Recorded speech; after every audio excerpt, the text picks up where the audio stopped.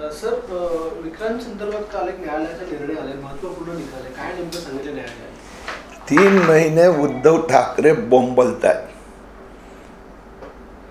कोर्टाने सांगितलं सत्तावन्न कोटीचा आरोप सोमय्यावर लागला आहे.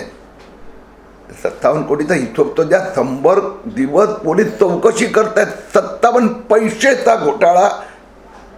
आणि म्हणून कोर्टाने आता आदेश दिला आहे की पुढच्या दोन आठवड्यात ठाकरे सरकारने कोर्टात एफिडेव्हिट फाईल करायचं आहे. सत्तावन्न कोटीचा आकडा कुठून आला? पैसे कसे गोळा केले गेले? किती तारखेला करायला केले? जर विभिन्न कार्यक्रम केले तर कुठला कार्यक्रम कुठे? त्याची ब्लूप्रिंट त्यात किती रुपये गोळा झाले आणि पुढे काय झालं? आता संजय राऊत आणि ठाकरेंना पण हिशोब द्यावा लागणार. एक एक मिनिट. सर अ, संजय राऊत यांनी असं म्हटलंय की जे पैसे जमा केले होते ते पक्षाकडे दिले तर हा देखील एक घोटाळा झाला आता असं आहे. तपास करतात अजून. आहे की संजय राऊत तो इतका भीतरा आहे ढोंगी आहे.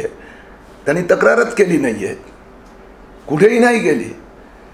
चौथालय शंभर कोटीचा घोटाळा पंधरा हजार कोटीचा ईडी घोटाळा दोन डझन एक तक्रार नाही. एक नंबरचे डरपोक आहेत.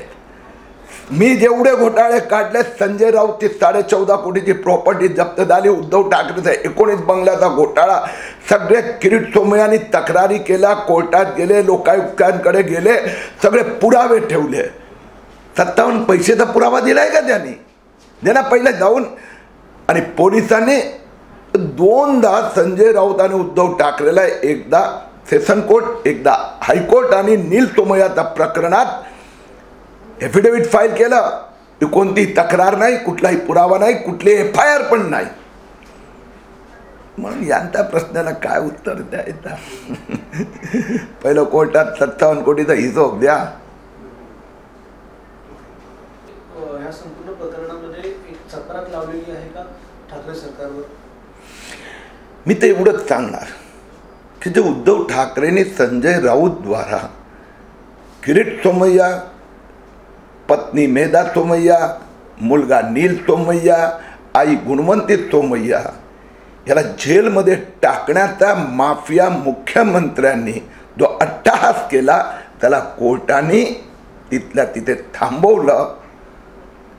महाराष्ट्रात पण न्याय आहे.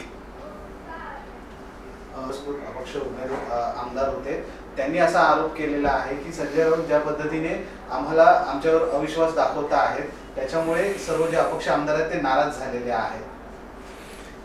त्या आमदार त्यांना थोडं सौजन्य पाळायचं असतं. संजय राऊत नाही उद्धव ठाकरे आहे बोलविता धनी उद्धव ठाकरे आहे उद्धटपणा उद्धव ठाकरे सरकारचा आहे. धमक्या देणं हे उद्धव ठाकरे करतात. नेव्हल ऑफिसरच्या घरी जाऊन मारहाण करतात. म्हणून आता भोगा. आणि दुसरी गोष्ट अशी आहे राज्यसभेत पक्षाचा व्हीप म्हणजे मत कुठे दिलं हे दाखवावं लागते.